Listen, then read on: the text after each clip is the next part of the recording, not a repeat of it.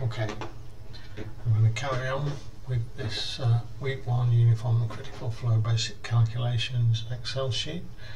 Um, now doing the iterations, I should be able to complete these first, uh, these four.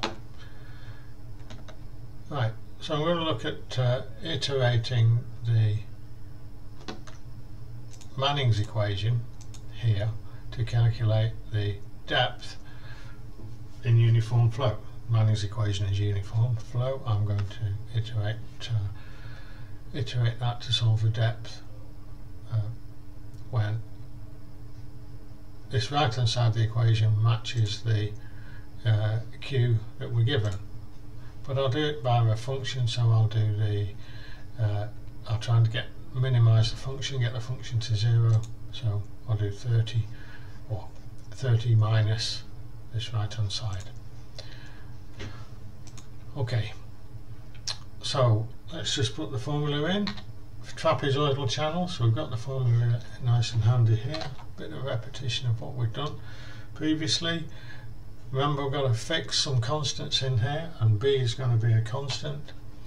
B fixed, so we put dollar, dollar, a dollar letter, dollar nine, uh, number for, for the row plus the bed slope sorry, the side slope constant times by our trial depth, our guess depth times by bracket, close bracket times by that close depth, that depth again. Let me just change the terminology in this, S naught. The wetted perimeter, P, is this second formula here, is equal to B constant plus 2 times our guess value of y times the square root of 1 plus the side slope squared close bracket. Okay.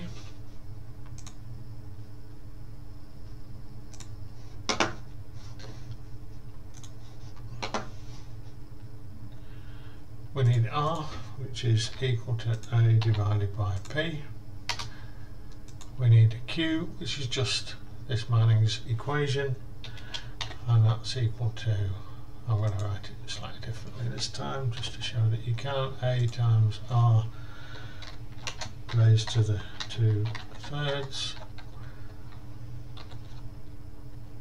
times s naught so the slope constant raised to the 0.5 and then this whole lot divided by n as a constant. 8.7 so our target is 30 so we know we're well out there and that's equal to that function value or error as we've called it there is 30 minus uh, as a constant subtract from the trial q. So 21 out. Let's just uh, oh we can copy all that to the bottom let's just put uh, one in here check we've got the right numbers well. We haven't got the right numbers so I've made a mistake it looks like on P here. I need to have a constant in here. So definitely that S needs to be made as a constant. Let me drag that down to the bottom again and we see we've got the right numbers here right numbers everything else. So there's a check we need to do but one's not the right a good guess there. Oh, 20 is not a good guess. Let's do 2. So we can see that as the arrow goes from positive to negative, the answer is between 1 and 2. It's much nearer 2, so let's do uh, 1.8. Okay, that's positive now, so we see that it's between 1.8 and 2, 1.9 say.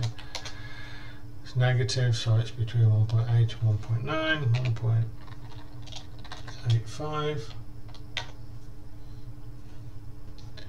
Ah, that's pretty good now. So the error is only uh, 0.09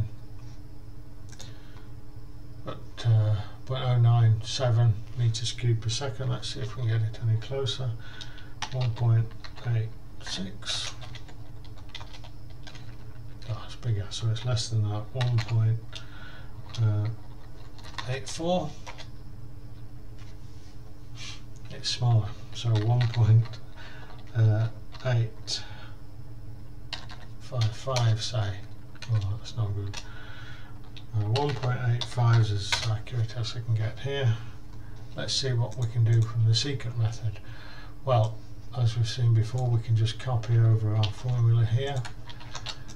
Now let's put one in there. We can pull that down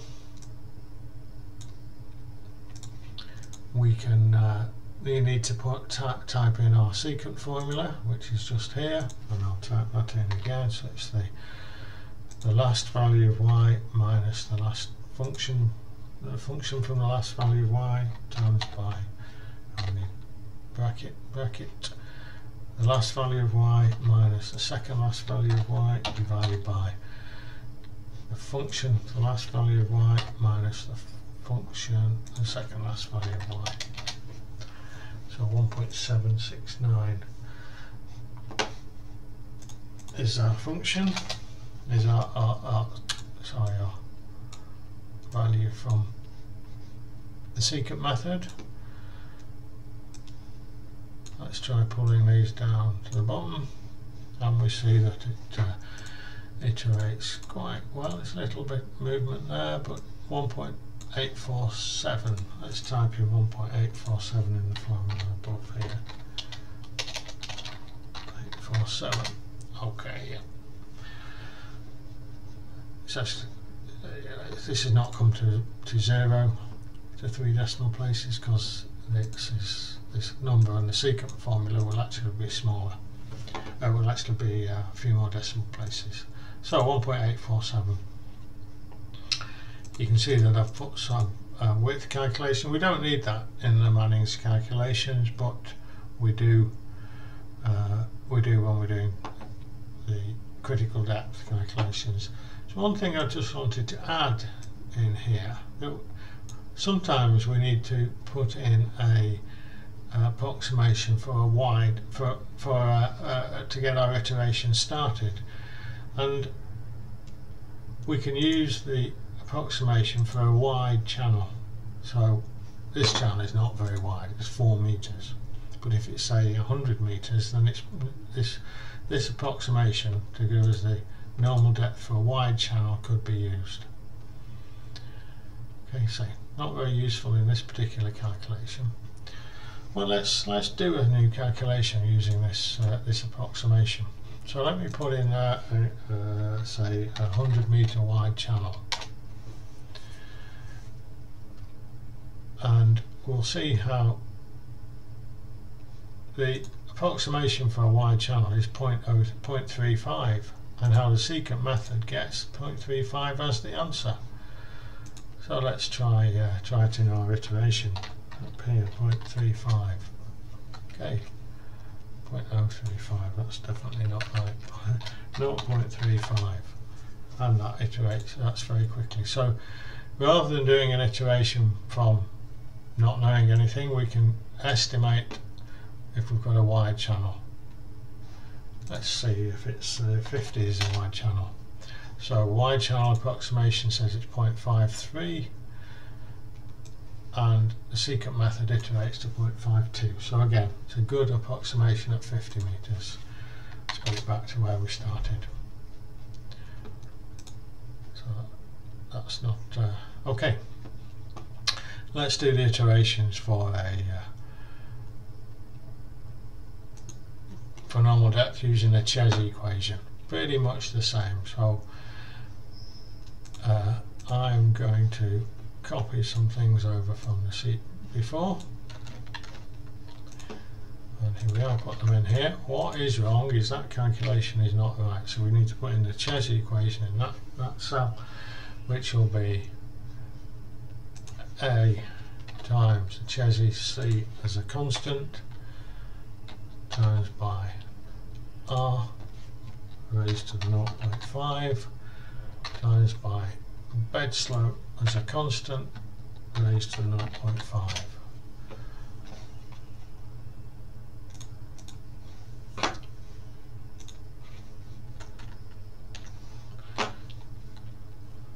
Okay. Let's try uh, one in again here and I'll pull this down to check I've got the calculations correct. Yep, they're okay, but let's see what we need. Two. Well, that's no good. And it's gone much more negative, so the solution seems to be less than one. So I'll put 0.5 in here. Uh, I'll drag these down, drag it all the way to the bottom. So it's still negative, so let's try 0.4 in here. Okay, so we know that the solution has gone negative to positive, so the solution is going to be between 0.5 and 0.4, so not 0.45. A lot better. It's still positive, so it's going to be nearer 5, so 0.46 or 0.455. Okay, so we need we know it's between 0.45 and 0.45 let's do that same calculation with the secant method. So I can just copy and paste from there. Let me just try that. Put one in here. Okay. It back at point one. I need my secant formula. Now I can do this. Copy it from the sheet before because it's the same shape table.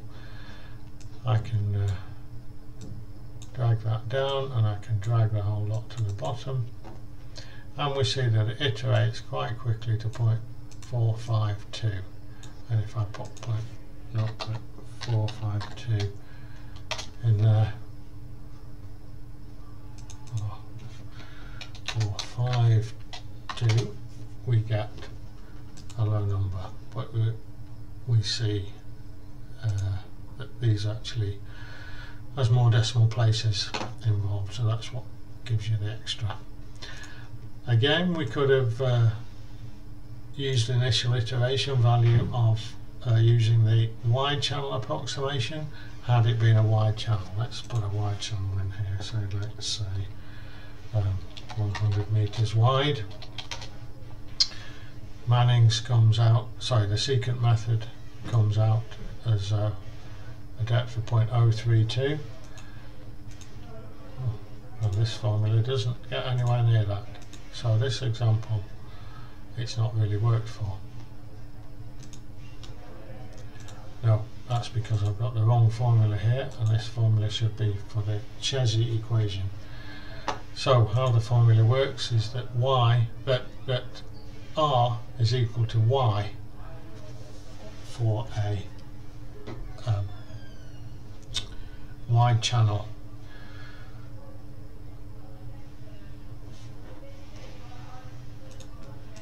so we need to reformulate that. So ignore that that formula. I'm going to just cover it up and get it and you can correct it later. Let's iterate for critical depth for a trapezoidal channel. So critical depth is the depth when the Froude number equal to 1 okay? We can look at an example here. The Froude number, of is, is this formula. With velocity over root g dm and dm is the hydraulic mean depth and that is equal to the area divided by the the, the surface width of, so let's just get on and do those calculations. So trapezoidal channel formulas over here. A is equal to b constant plus side slope as uh, a constant times y times y. Let's get my terminology for side slope correct there. b, top width, b plus 2sy is equal to lowercase b, the bed width as a constant, plus 2 times side slope is a constant times the guessed y.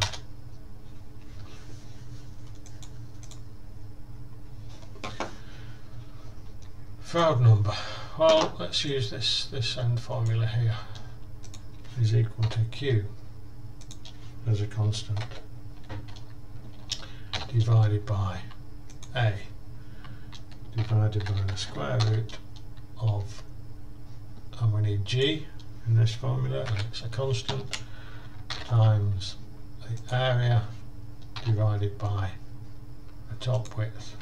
None of the neither of those two are constants and that gives us a Froude number of 1.7 we can uh, just do the Froude number squared is equal to the Froude number times the Froude number get 3.07 or we can use that formula q squared b over a cubed um, and that's equal to q. That's constant.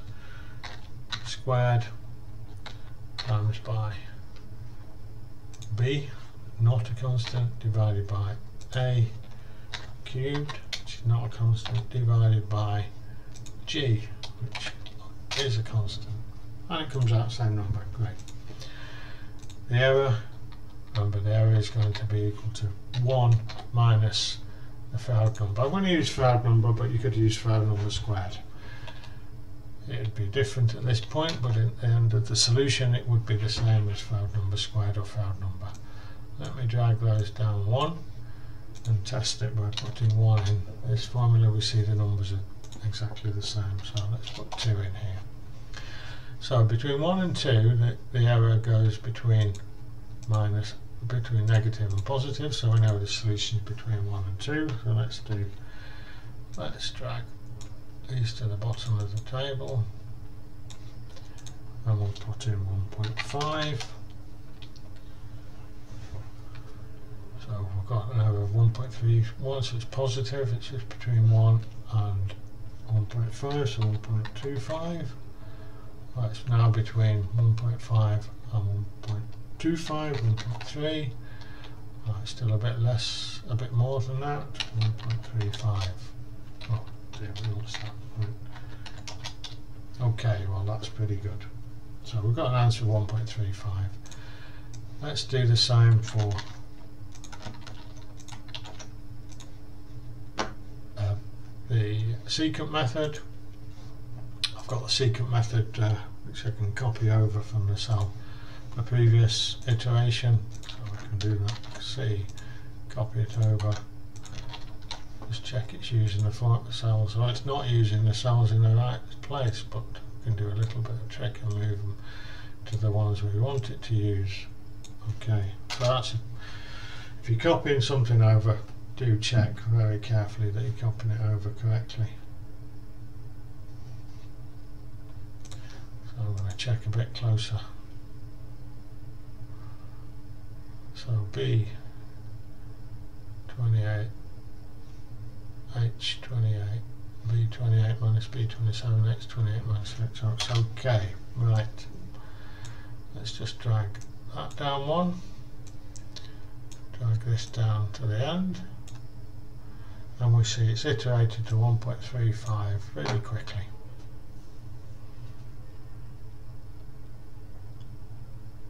Okay, there's iteration for um, critical depth in a trapezoidal channel.